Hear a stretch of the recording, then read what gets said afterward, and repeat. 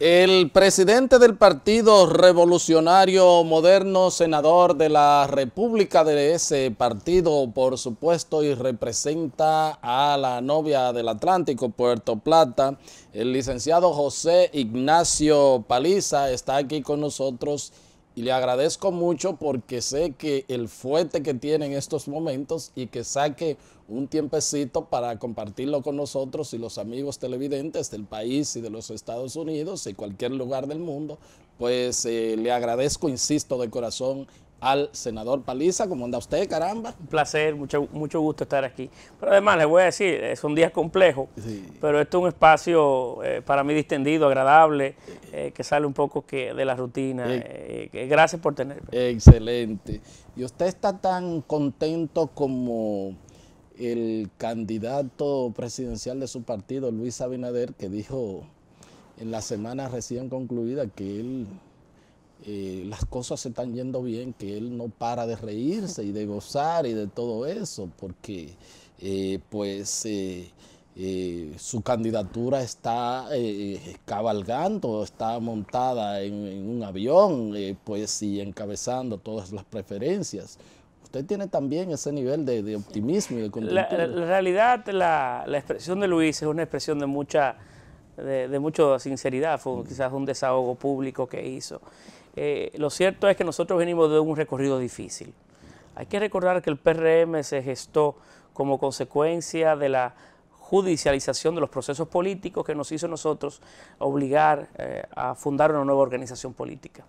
Y desde, desde aquel momento hasta la fecha hemos tenido cuatro o cinco años de arduo trabajo construir una marca, establecerla, una propuesta política, tener un primer proceso que fue no fue necesariamente la imagen y semejanza de nuestros deseos, me refiero a sus resultados.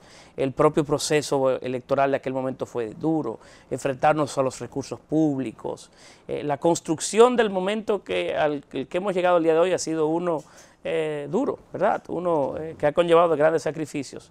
Y Luis ha estado muy en el centro de todo ese esfuerzo como joven, como joven profesional y empresario, eh, ha, tenido, ha tenido un rol fundamental que jugar.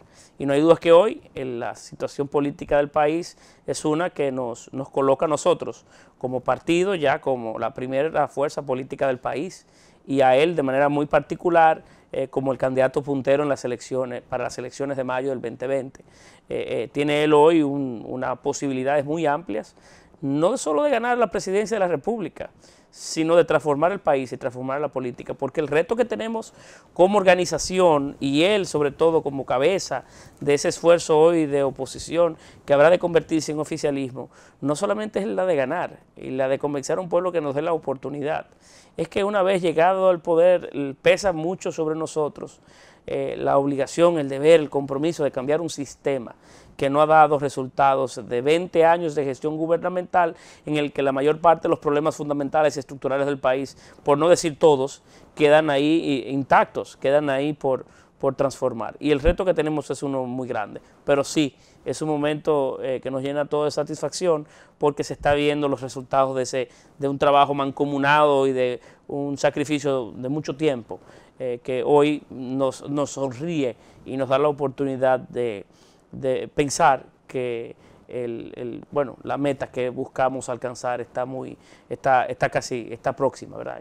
Y, son, son evidentemente logrables. ¿Cómo no? Y bueno, pues este ayudado también un poco por la situación del PLD, aunque ustedes no lo han impulsado, eh, o, o, por lo menos este pero a nadie le amarga el dulce, ¿verdad que sí? Entonces, este, ayudado por esa situación. Que no, no hay duda que las dificultades eh, vividas a lo interno del Partido de la Liberación Dominicana nos da, eh, es un complemento, no lo es todo. Eh, no apostábamos a esa realidad, hoy la, planificación que nosotros llevamos y el la planificación estratégica que impulsábamos como partido estaba proyectada a enfrentarnos a un partido de la Liberación Dominicana unido, unidos. Esa era la realidad. Claro, esto nos da hoy un escenario diferente más, o más oportuno para la suerte del partido revolucionario moderno, pero sigue siendo, siguen estando hay algunos retos que vencer, porque el sistema se resiste a cambiar el sistema no solamente está vinculado a quienes hoy ostentan el poder, sino a sus ramificaciones. Y cambiar el sistema es un reto que conllevará de gran esfuerzo y gran sacrificio y que no hay dudas que el proceso electoral de mayo es uno, es uno que, tiene sus complejidades que nosotros estamos trabajando para poder lograr vencer. Eh, previo a mayo hay un proceso y justo el pasado viernes se dio el campanazo de la apertura de la campaña electoral para las elecciones municipales eh, de febrero del año que viene. Entonces es un gran reto tanto para ustedes, los partidos políticos, como para la propia Junta Central Electoral. Y en esa dirección, eh, pues este, un poco eh, como una antesala de lo que podría pasar en mayo. ¿Qué tan importantes son esos comicios? y qué, qué, qué, cuál, cuál es el rol que ustedes esperan pues, eh, desempeñar en el mismo. hay gente que entiende que las elecciones de, febrero son una, antesala que se proyectan y que puedan influenciar de manera positiva o negativa las elecciones de mayo. Eh, y no deben de tener algo de razón, pero no toda. Mm. Eh, ya el elector dominicano ha logrado dividir y diferenciar sus preferencias. Es un elector más sofisticado de lo que mucha gente cree. Eh, y sobre todo hay una franja de la sociedad que es una franja eh, que dedica más tiempo eh, a, estos temas, que se preocupa más por el futuro del país y cuyo voto es uno ya más sofisticado. la mejor muestra son las elecciones o las experiencias previas que hemos tenido. En las elecciones, por ejemplo, en las que yo participé a senador en el año 2016, pues tuvimos en, mi provincia de Puerto Plata un voto fraccionado. Yo logro ser senador, obtener más del 50% de los votos, mientras hay otras posiciones de mi propio partido que no tuvieron la misma suerte. Eh, inclusive hay candidatos que lograron triunfos que no pertenecían ni tan siquiera a los dos partidos fundamentales, eh, porque la gente eh, logra discriminar y puede elegir de la manera que lo entiendo más oportuna. Nosotros sí como partido entendemos que el cambio que estamos impulsando y que eh, representa Luis Abinader no solamente debe de proyectarse a niveles de presidenciales, sino que también la influencia o el impacto que se puede dar en el Congreso y en los ayuntamientos es uno eh, que, importante para nosotros. Por eso vamos a hacer un esfuerzo eh, para proyectar nuestras mejores propuestas a nivel municipal, para construir alianzas a niveles municipales que nos permitan dar un rostro diferente a la municipalidad, lograr mejores resultados municipales eh, como, como, con la intención de forjar ese cambio. Y claro, si esto nos ayuda a dar o a tener una mejor proyección hacia, hacia las elecciones de mayo, pues bienvenido sea pero hay que entender que son elecciones diferentes, a posiciones diferentes, y que hoy en el que el elector dominicano tiene, eh, dadas las leyes que nos hemos dado, total libertad casi de elegir a presidentes, senadores, diputados y alcaldes de partidos diferentes, pues entonces en ese ejercicio de libertad del elector habrán, habrán una, un uso más creativo del voto y cada elector los utilizará ah, de la forma en que lo entienda más eh, bueno, más oportuno a sus propios propósitos y a los intereses de sus respectivas comunidades. ¿Cómo no? Usted habló del tema de alianza en el nivel municipal, que podrían estar haciendo alianza y bueno, dio un discurso, dirigió unas palabras de al menos creo que seis minutos fue lo que me llegó de la Dirección de Comunicaciones.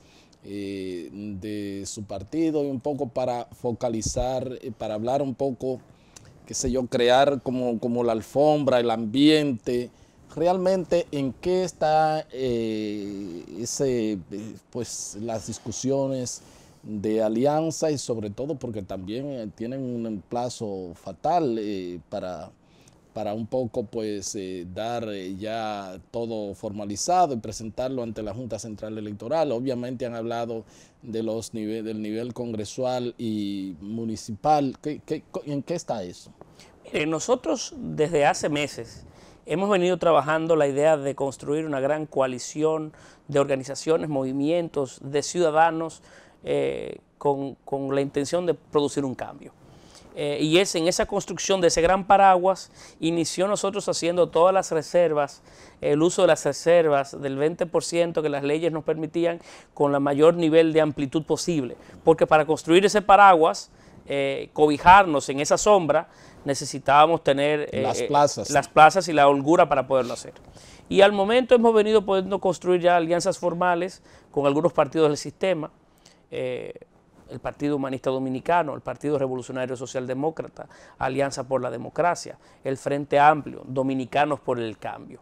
Y en ese mismo esfuerzo, desde entonces, desde hace algunos meses, previo a las propias primarias y los resultados de las propias primarias, habíamos venido conversando con otras organizaciones, como por ejemplo con el conglomerado de Juntos Podemos, para llegar a alianzas a otros niveles, sobre todo los niveles eh, congresionales y municipales, esto así porque esas organizaciones que se cobijan bajo la nomenclatura de Juntos Podemos impulsan a candidatos presidenciales varios. Eh, así también como la posibilidad eh, en las conversaciones que hoy sostenemos con los directivos de Alianza País para poder también propiciar a esos niveles alianzas y poder propiciar los cambios a los cuales había conversado en la pregunta anterior a otros niveles. Porque hay que recordar que, por ejemplo, hoy el Senado de la República tiene demasiada importancia en la construcción y el fortalecimiento de la institucionalidad democrática del país. En el Senado hoy, por ejemplo, reside la designación de la Junta Central Electoral, de la Cámara de Cuentas, de la conformación en el Congreso de, una ala importante del Consejo Nacional de la Magistratura, que es el que puede propiciar una justicia eh, sin que el predominio de un partido político sea el que se imponga. Para lograr la transformación de gran parte de eso necesitamos un Congreso más plural, más incluyente y en donde el balance en la diferenciación de las bancadas presentes pudiera propiciar un momento de negociación, de encuentros, de conversación, de contradicción que nos dé resultados positivos y que no sea un partido el que imponga eh, la agenda del Congreso. Y entonces hemos venido construyendo esas alianzas de diferentes naturalezas. Tenemos como plazo el día 18 de este mes apenas estamos a unos días de cumplirlo, en donde todas esas alianzas serán debidamente comunicadas eh, a la Junta Central Electoral y bueno, y, habrá ya una noción mucho más clara de la, del ambiente político nacional y de las boletas que presentaremos eh, o que presentarán las diferentes organizaciones políticas. Y así irán perfilando eh, lo que será la, la, bueno, la realidad política de las elecciones tanto de febrero como la de mayo. Pero nuestra intención como organización eh, es la de construir una, un gran esfuerzo que nos permita a nosotros producir un cambio alrededor de las organizaciones de oposición que están debidamente identificadas bajo eh, ideas que son para nosotros muy lógicas, sin renunciar a algunos principios que son innegociables para nosotros y teniendo nosotros como partido la idea muy clara de que nuestro candidato puntero a la presidencia de la República, Luis Abinader, es una figura que nosotros debemos de preservar para lograr ese esfuerzo y la, culminación o concretización de, ese, de esa propuesta de cambio que queremos impulsar. Y entonces eh, eh, es cierto que podrían estar eh, pues en alianza unas 24 senadurías, ese, ese número que se ha, se ha, manejado, ¿eso podría ser así? Estamos en conversación hoy con esas organizaciones políticas para proyectar senadurías o candidaturas de senadurías, ojalá que en todas las, las plazas del país, con, con, con la idea de tener mejor potencialidad electoral. y eso es un tema que está hoy en conversación. Lo cierto es que en el día de hoy domingo, a las 10 de la mañana, será eh, proclamado el, licenciado, el ingeniero Eduardo Estrella como candidato a senador de la provincia de Santo Domingo. Este, perdón, de la provincia de Santiago. Eh, este, claro, todos conocemos líder de Dominicanos por el Cambio. En el día de ayer se hizo lo propio, nosotros proclamamos a Héctor Acosta el Torito que ha tenido un apoyo eh, ya público de muchas organizaciones políticas previo a la concretización de los acuerdos que interpartidarios se vienen dando, porque es una figura eh, conocida y todo el mundo conoce su responsabilidad o su nivel de, conciencia sobre su rol que debe de, jugar más allá de, sus, de su profesión y de sus quehaceres. Eh, y bueno, y en esa tesitura estamos construyendo, ojalá que alianzas para poder impulsar las 30 candidaturas con la mayor cantidad de organizaciones políticas posibles. Y en eso estamos, en esas conversaciones vamos. Pero por lo menos palabreada más de 20. Bueno, si usted se hace referencia con el conglomerado Juntos Podemos, entonces sí, estaríamos hablando de, apoyos o la construcción de apoyos mutuos más de 20 senadurías. De manera particular, creo que en 24 senadurías al día de hoy. Pero como le refiero, Esto es un, esto es un esfuerzo de alianzas eh, de, niveles múltiples. Y entonces, que pueden llegar a 30 senadores. Claro, y hay acuerdos con partidos particulares para una plaza y, y, con otros para otras.